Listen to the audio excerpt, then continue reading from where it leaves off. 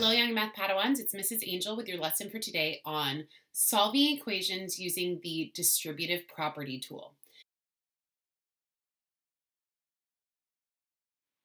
So as a quick reminder, the distributive property basically states that you're going to multiply everything inside of the group by what's outside to essentially free the constant. So looking at expression number one, we have 4 times the group of x minus 5 we're going to multiply everything inside of the group by 4, and that will free our constant out of the group. So starting with x, 4 times x is just 4x, and 4 times a minus 5 becomes a minus 20. Now from here, you'll notice that the group is gone. My constant has become a minus 20, whereas it used to be a minus 5, but at least I now have two terms, and my constant is free. So the simplified version of expression number one is 4x minus 20. 5 times 2x, well 5 times 2 is 10, so 5 times 2x would be 10x. And 5 times a positive 1 would be a positive 5. So now that I have two terms and my constant is broken free out of the group, I know that this expression is fully simplified. 3 times 6 is 18, and 3 times a minus 5x, or a negative 5x, would become minus 15x. Again, my constant is free.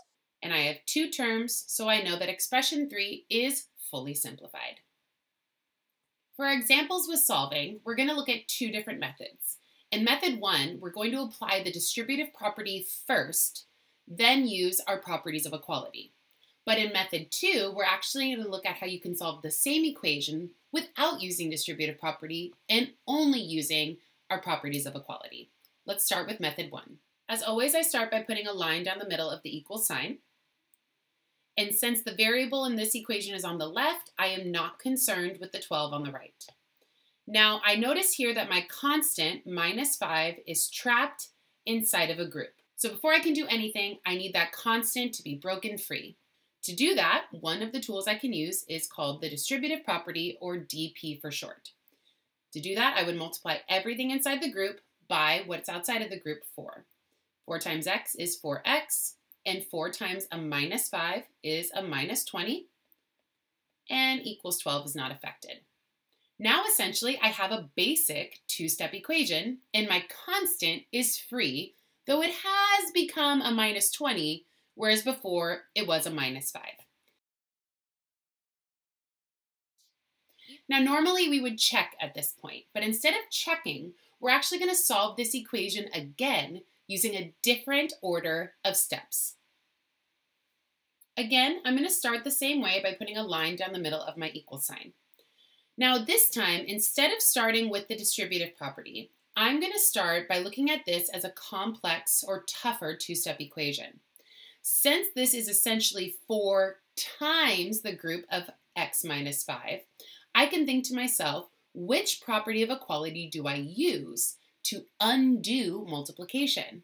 And the answer to that is division property of equality or DPO.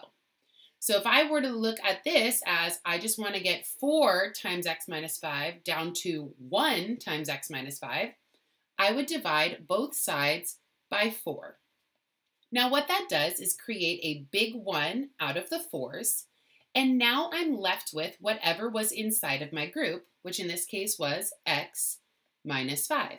And 12 divided by 4 is 3. Now Since x is already by itself, I'm done and I don't have to apply any other tools. Since we ended up with x equals 8 using both methods, it doesn't matter which one you use. So, which one did you prefer? In equation 2, we're going to do the same thing. Method 1, distributive property first. Method 2, only properties of equality. Let's look at method one. As always, I start by putting a line down the middle of my equal sign. And in this equation, I notice that the variable is on the right side of the equation, so I am not concerned with the other side. So let's start with our first method of applying the distributive property to get rid of the group and break our constant free. So 5 times 2x and 5 times a positive 1. 5 times 2x is 10x, and 5 times a positive 1 is a positive 5. And the negative 25 on the other side is not affected. So instead of checking, let's solve this same equation again using only properties of equality. Starting with my line down the middle of the equal sign, this time, instead of the distributive property, I'm going to start off with division, or depot, and divide both sides by 5 to create that big 1 factor. Again, the 5 and the divided by 5 creates 1, and then I'm left with whatever is inside of the group, which in this case is 2x plus 1. So going all the way through, negative 25 divided by 5 is negative 5, and 2x plus 1 is on the other side. And negative 6 divided by 2 is negative 3. 2x divided by 2 is 1x. Since we ended up with the same solution in both methods, it really doesn't matter which one you use. So which method do you prefer?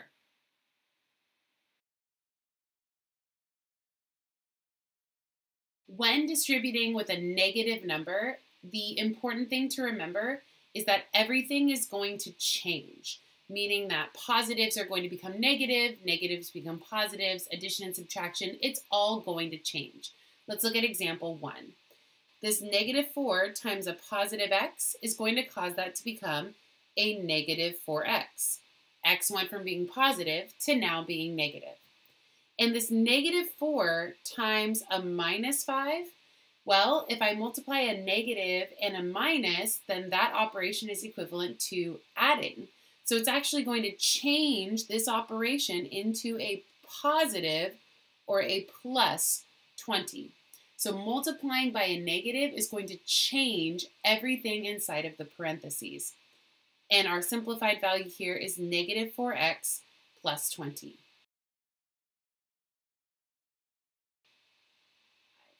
Negative 10x minus 5. Everything that was originally in the parentheses had to change so negative 18 plus 15x. It's important to note that if you have to ever distribute a negative, everything is going to change. If you forget about that change, then you're probably going to make a mistake along the way. Our first equation that we're going to deal with is negative 4 times the group of x minus 5 equals 12. I'm going to start by putting a line down the middle of my equal sign. In method 1 here, we're actually going to use the distributive property first, then follow it up with our properties of equality.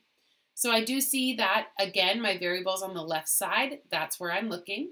And I'm distributing a negative 4 on that side. So again, I'm thinking everything is going to change. So negative 4 times a positive x becomes a negative 4x. And negative 4 times a minus 5, that changes to plus, and 4 times 5 is 20. So the first step we used, the first tool we used was our distributive property, but since we distributed a negative, everything had to change. Now instead of checking, which is what we would normally do, we're going to solve this same equation again, this time only using our properties of equality. As always, I start by putting a line down the middle of the equal sign. Now, to avoid having to deal with the changes that come from distributing a negative, you can always use division property instead. I can start off my equation with depot and divide both sides by negative 4. Whatever is being multiplied must also be divided. Now that creates a big 1 here and leaves us with x minus 5. And on the other side, positive 12 divided by negative 4 becomes negative 3. And I still end up with x equals 2. Since you end up with x equals 2 in both methods, it really doesn't matter which one you choose. So did you prefer distributing first or depot first? Looking at equation 2, we're going to start the same way, line down the middle of the equal sign, and starting off with our distributive property. But be careful. We are distributing a negative here, negative 5. So everything is going to change. Negative 5 times positive 2 becomes negative 10. That positive became a negative. And negative 5 times a plus 1, that's going to change into a minus, and 5 times 1 is 5. So again, everything inside of the parentheses had to change. So again, instead of checking, let's just solve it using a different series of steps and see if we end up with the same thing. After I put down the line in the middle of my equal sign, I'm going to start off this equation with division, D-P-O-E. And divide both sides by negative 5, since that's what's being multiplied. Negative 5 divided by negative 5 is 1. And I'm left with 2x plus 1 on the right. Negative 25 divided by negative 5 is positive 5. And once again, I'm left with positive 2 equals x. Again, since we ended up with the same solution, it doesn't matter which method you use. So did you prefer method 1, distributing first, or method 2, just using properties of equality? Now it's your turn. You're going to solve this last equation on your own and check your solution when you're done. It's your choice whether you want to use the distributive property first or just use properties of equality. However, once you solve it one time, then you're going to solve it again using a different method. So if you did division property first, and the second time around, you're going to try distributive property. Over here, when you're done, you're going to explain what you did differently in the second time versus the first. Now, I'm not going to solve this equation with you. However, I will tell you that the solution to the equation is x equals 1. So no matter if you use division property or distributive property, you should end up with x equals 1. And if you do, you know that you did your work correctly. On this last page, you're going to solve the equation below and check your solution. You can either use distributive property first or you can start off with depot. Whatever you choose to use, you're going to solve it again using the other method. Now, I'm not going to help you through this one, but I will tell you that you should end up with a solution of x equals 1.